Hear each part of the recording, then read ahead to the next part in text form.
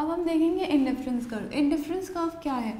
जो हमारे जितने भी प्रेफरेंसेस हैं, जो अवेलेबल बंडल्स जितने अवेलेबल बंडल्स हैं, उनमें हमारे जो भी प्रेफरेंसेस हैं, उसको जब हम डायग्रामेटिकली शो करते हैं तो वो हमारा इंडिफरेंस कर्व होता है.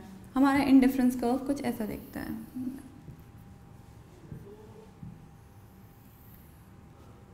ये है हमारा इंडिफरेंस कर्व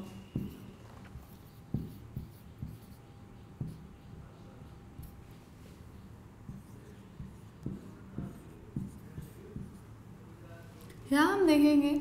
कर्व्स पे हमारे जितने भी पॉइंट्स होंगे, जितने भी पॉइंट्स हमारे यहाँ पे इस कर्व पे जितने भी पॉइंट लाई करेंगे, वो पॉइंट्स हमारे प्रेफर्ड पॉइंट्स हैं। हमने इस पॉइंट्स को प्रेफर किया है। ये पॉइंट हमारा प्रेफर्ड पॉइंट है।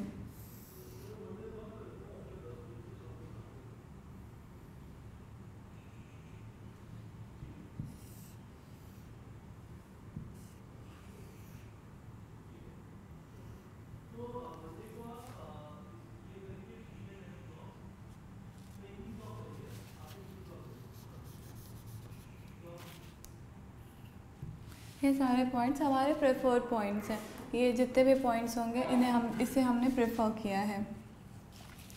अगर इसके अंडर कोई भी पॉइंट लेते हैं, ये जो हमारा इंडिफरेंस कर्व है, इसके अंदर हम कोई भी पॉइंट लेंगे तो वो हमारा इन्फीरियर पॉइंट्स हो जाएगा। ये पॉइंट हमारे जितना भी हमारा, उस अगर इन सब में से कोई भी एक भी पॉइंट लेते हैं इसके अंडर कर्व के अंडर तो वो पॉइंट हमारा इन्फीरियर पॉइंट इसलिए होगा क्योंकि उससे हमारी जो इनकम है वो इंटायरली स्पेंड नहीं होती है। यहाँ पे जो भी पॉइंट्स अवेलेबल हैं इस कर्व पे, उस, उन पॉइंट्स में क्या होता है कि जो हमारे इनकम है वो इंटायरली हम स्पेंड करते हैं। अगर हम ये पॉइंट लेते हैं तो इस पॉइंट पे हम अपने इनकम को पूरी तरह से स्पेंड कर देते हैं, अगर ये पॉइंट लेते हैं।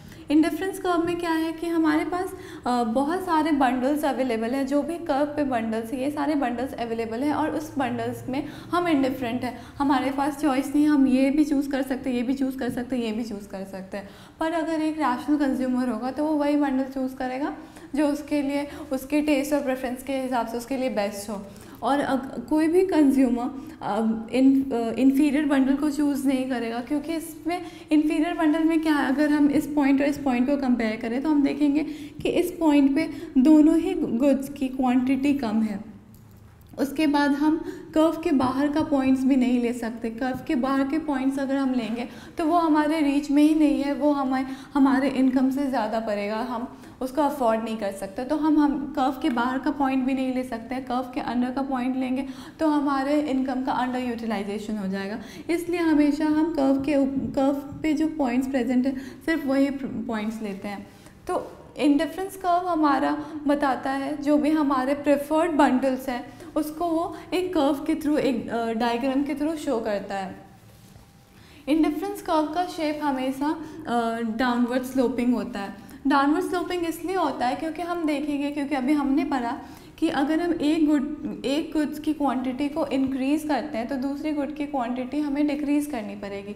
इसलिए ये हमें, हमेशा डाउनवर्ड स्लोपिंग रहेगा। अगर हम यहाँ इसे इसे इंक्रीज़ करेंगे तो हमेशा, अगर हम इसे यहाँ लेते हैं तो हमें इसकी क्वांटिटी कम करनी होगी गुड वन की। अगर हम इसे कम करते हैं तो गुड वन बढ़ जाता है। तो ये जो भी है ये हमें बताता है कि एक क्वांटिटी एक गुड की क्वांटिटी को इंक्रीज़ करते करने के लिए दूसरी गुड की क्वांटिटी को डिक्रीज़ करनी पड़ेगी। इसलिए जो इंडिफरेंस कर्व है, वो हमेशा डाउनवर्ड स्लोपिंग होता है। अब हम देखेंगे इंडिफरेंस कर्व के का स्लोप अगर हम देखते हैं कि इंडिफरेंस कर्व में कुछ चेंजेस हुए, हम एक पॉइंट से दूसरे पॉइंट पे मूव करेंगे तो जो ये एक दूसरा इंडिफरेंस कर्व हम बना लेते हैं।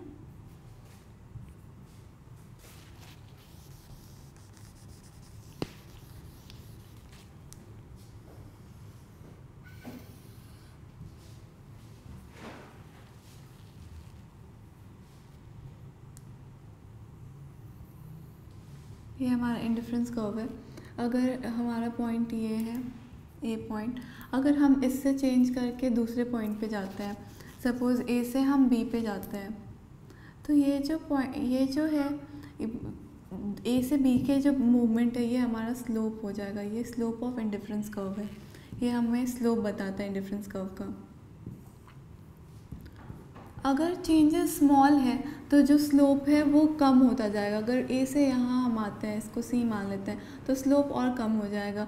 अगर यहाँ आते हैं डी तो ये और कम हो जाएगा। ये स्लोप कम होता जाएगा, जो स्लोप जिसको अगर कम तो इसको हम कहेंगे डिमिनिशिंग रेट ऑफ़ सब्सिट्यूशन